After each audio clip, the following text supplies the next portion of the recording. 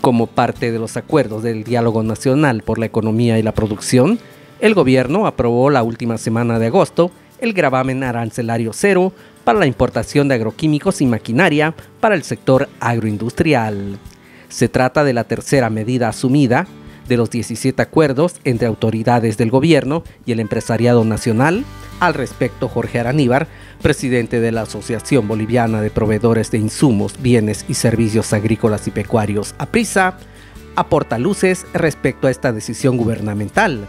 Se va a quitar el 10%, el grueso de las importaciones vienen de la China, eso sería lo que el decreto estaría ayudándonos.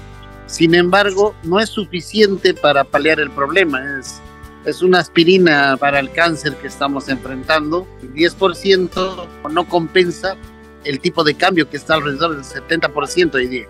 Esta medida tiene una periodicidad temporal en función a los tiempos manejados operativamente por la agricultura nacional.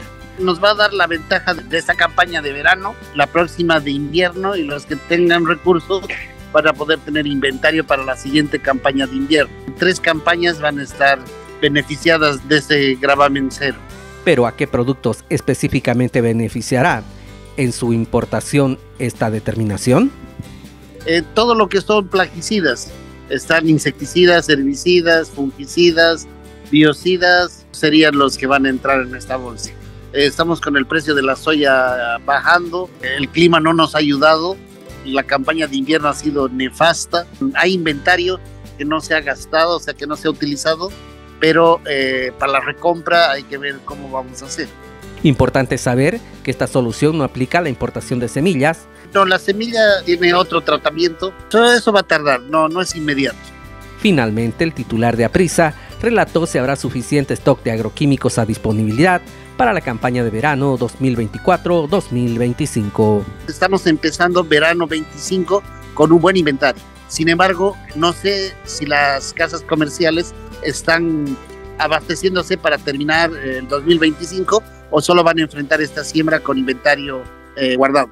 Eh, todos estamos asustados, temerosos del transporte, o sea, del costo de transacción. No se olvide que se tiene que pagar 70, 75% más por cada dólar que se envía, entonces es alto riesgo. Y eso es lo que está haciendo que el, el insumo suba, sea más caro. O sea, va a ser un año duro pero tenemos que ponerle el hombro porque el sector agrícola y pecuario son los únicos que están sosteniendo esta economía.